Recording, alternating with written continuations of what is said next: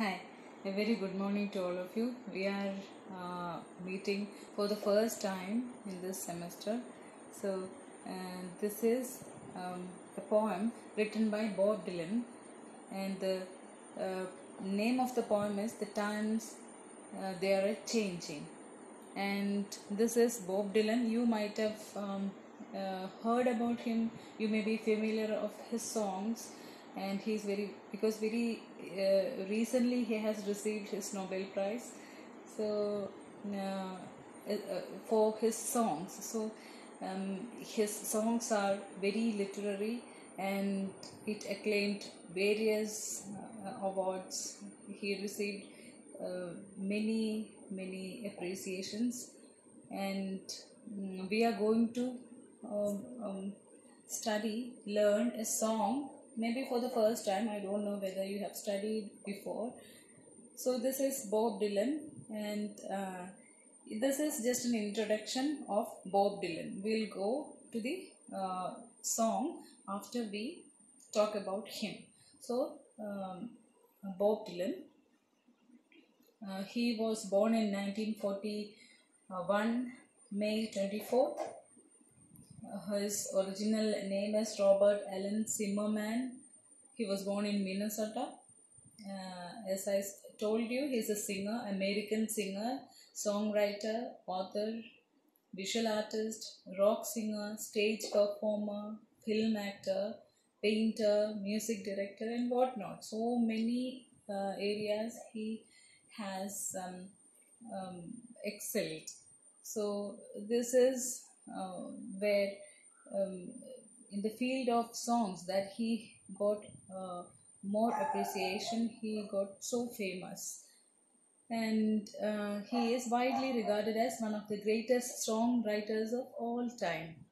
So and uh, he uh, talks about his career like this. The thing about rock and roll is that for me anyway it wasn't enough there were great catchphrases and driving pulse rhythms, but the songs weren't serious or didn't reflect life in a realistic way.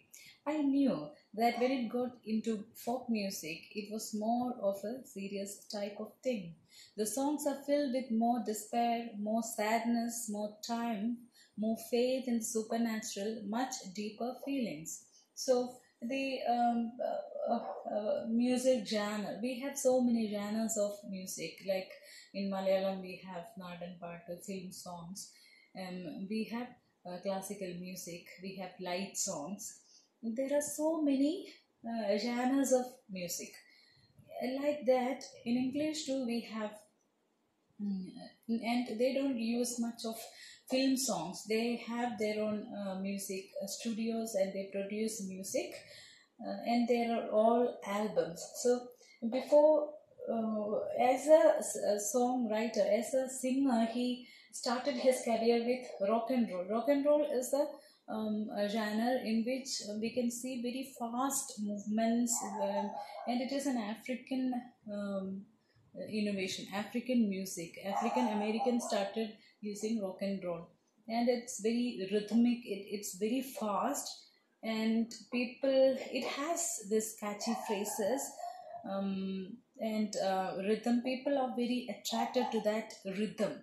And they forget everything they dance. And if you uh, go to youtube and type for rock and roll music you can see so many music. We have um, copied imitated rock and roll in hindi too and later. But uh, it, it is different uh, in the original version. It's very fast because uh, and it is very powerful as it comes from uh, africa and they talk about their life in it. But bob dylan felt something missing in the uh, rock and roll because it is very rhythmic. It is not talking about the realistic life.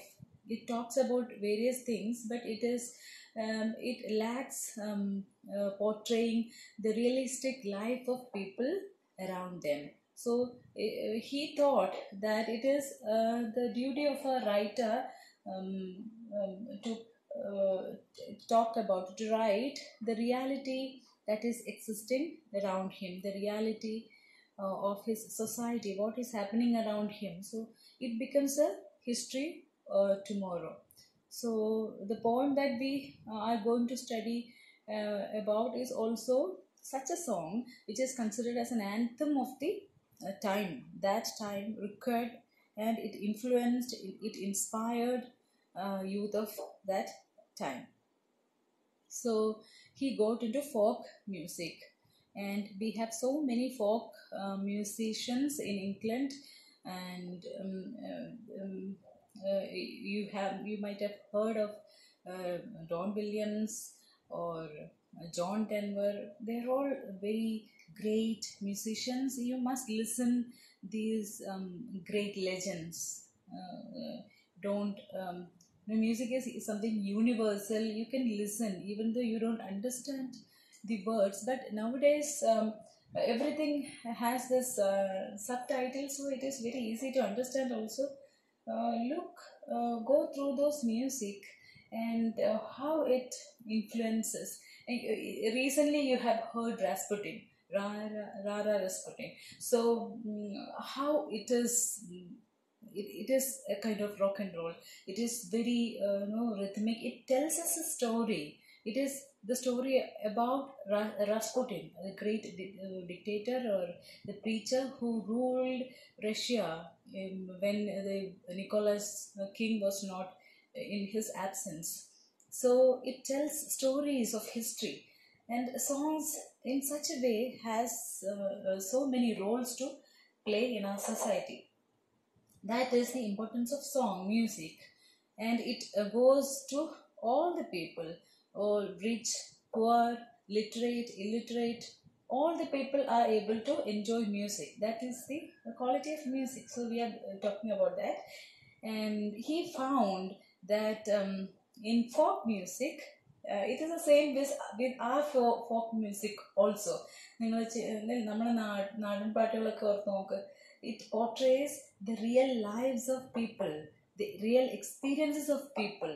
It is orally transmitted, so it talks about their experiences. They had no education. They had um, they were all illiterate, so uh, it portrays um, you know um, their life, and it is very oral, oral tradition. So they had this despair, sadness, uh, triumph, their victories, faith and there there were myths supernatural elements and it consisted deeper feelings. One could identify with one's own emotions or feelings. So he gradually moved into folk music and he uh, began uh, performing folk and country songs at local cafes um, taking the name bob dylan and he uh, later changed into bob dylan so d-i-l-l-n l-o-n has been changed into d by l-o-n okay. And he was influenced by elvis presley jerry lee and uh, woody guthrie.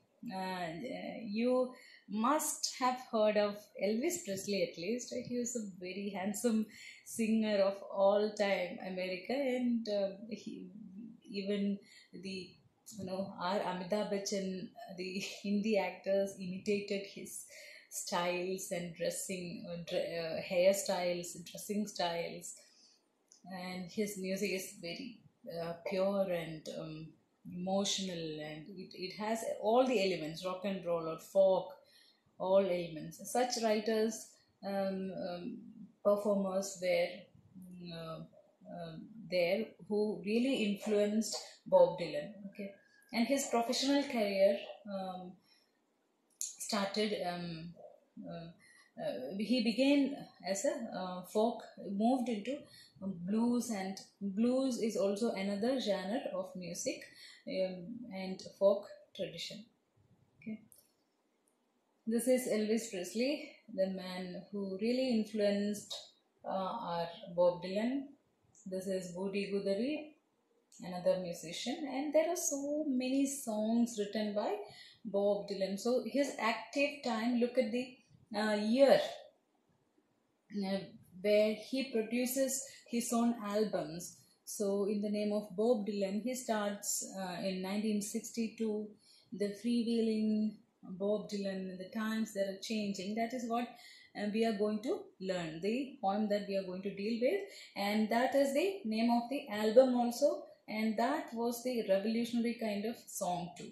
So that name must uh, be remembered by you all. Another side of Bob Dylan, 1964, Bringing It All Back Home, 1965, Highway 61 Revisited. That is another important album which attained uh, attention from all over the world. And Blonde on Blonde, um, John Wesley Harding's Nashville Skyline, Self Portrait. There are so many works. Um, um, it is not very important to learn all the works just for information that i'm telling um, these i'm introducing these songs uh, to you uh, new morning pat Garrett billy and billy the kid dylan planet waves blood on the tracks the basement taper tapes 1975 desire street legal slow train coming saved shot of love infidels Empire Burlesque. Empire Burlesque is another very important work. Knocked out, outlawed, down in the groove. Oh mercy, under the red sky, God as I been to you.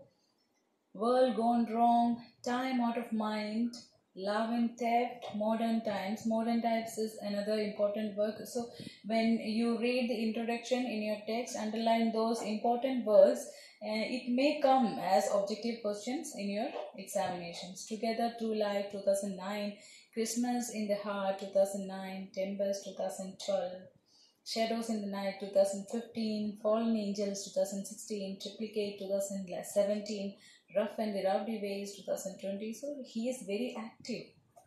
All these years, he has produced albums and became um, the most demanded um, person in the industry of music and um, he came in the top five or top three uh, world's best musicians list and there are so many awards he has received some of them are these 2016 he has received the nobel prize in literature and 10 grammy awards one academy awards you might have heard of all these awards. These are all prestigious awards for uh, best musicians. Uh, we remember A. R. um, um, Rahman receiving Grammy Award, and we were so proud of him. So how prestigious all these awards are, we know. And one um, Academy Award, Golden Globe Award. He has been inducted to the Rock and Roll Hall of Fame. So there is a Hall of Fame where all the uh, important personalities and singers um, um, their history is portrayed or their photos are hung so his photo his um, he is mentioned in the hall nashville songwriter hall of fame songwriters hall of fame. So he is everywhere. Um, what kind of um, awards or appreciations he could receive, he received all of that.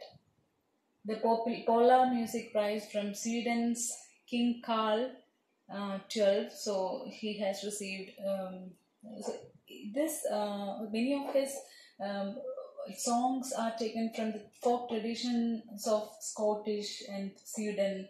So they listen his song.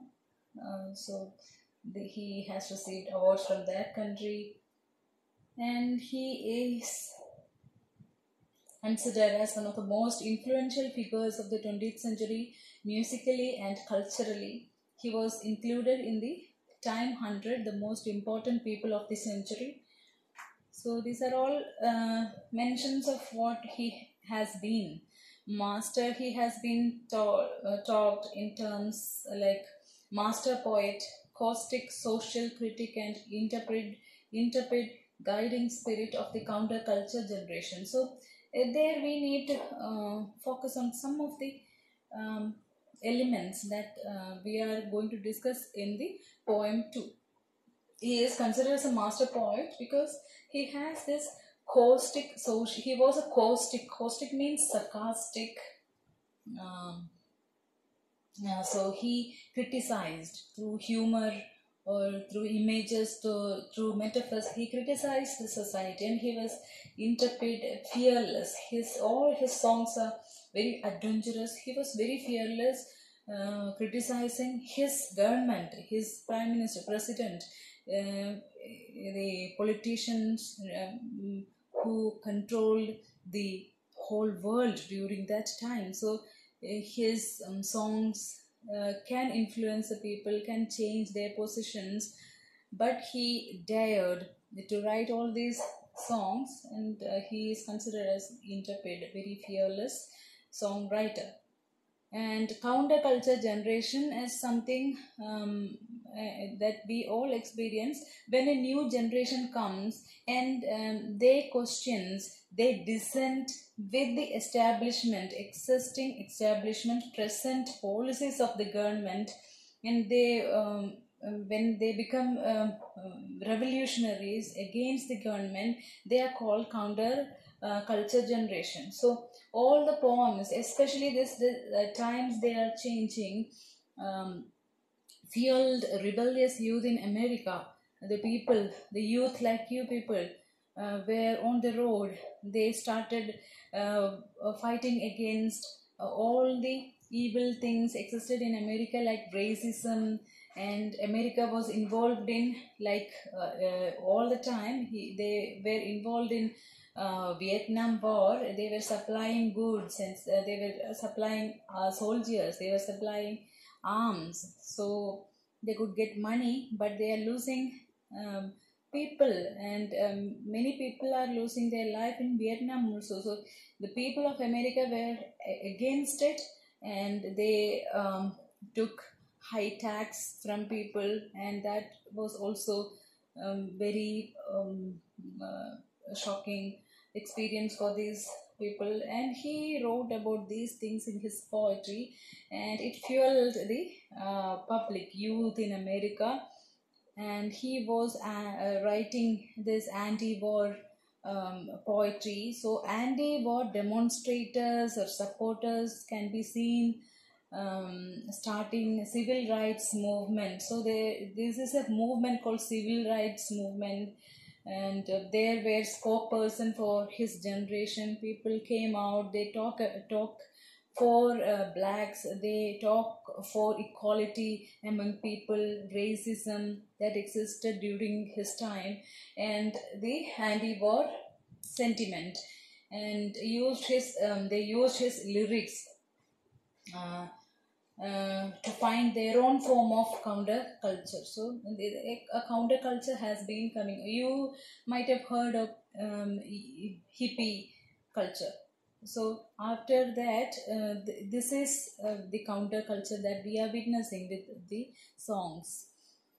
And we can see the effects of racism, war, um, uh, all these affecting people, affecting the society, and um, they were everywhere protest in uh, America. So they were uh, actually uh, promoting a peaceful change in society. So they were really against uh, America's involving involvement in Vietnam War, and it lasted for you know 19 years. So you can imagine how many a lot of people have lost their life in this war. It ended only in 1973. So during the time the uh, uh, song came, like 1964, the song uh, uh, came. It it fueled the people really, and um, there were many uh, uh, African singers also, like um, um, Samuel Cook, and he was killed uh, for writing um, songs. And there are uh, so many racial um, suppressions that we know through many films or uh, novels. So it all existed. These are all you know, reality. In 2008, the Pulitzer, Pulitzer Prize jury awarded him a special citation for his profound impact on popular music and American culture, marked by lyrical compositions of extraordinary poetic power. So his lyrics were considered as uh, extraordinary poetic power and President Barack Obama said of the Dylan, Dylan in 2012, there is not a bigger giant in the history of American music. He is uh, considered as a, a giant um, musician in the history of American music. And Horace Engdahl, uh, he is a Swedish, um, Swedish literary historian and critic he talked about him like this a singer worthy of a place beside the Greek bards, beside Ovid, beside the romantic visionaries, beside the kings and queen of the blues, beside the forgotten master of brilliant standards. So he is considered, he is more than all these things according to this critic. And his lyrics are so literary, often compared to great poets like Shakespeare, Blake, Rimbaud, and Whitman. These are all great poets of all the time and his lyrics are compared with these great poets. So that means his songs are poetry in itself.